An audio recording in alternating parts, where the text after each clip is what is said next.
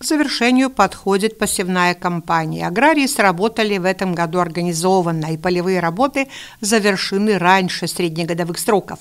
Засеяны более 80% посевных площадей. Погода позволила проводить работы с небольшим опережением.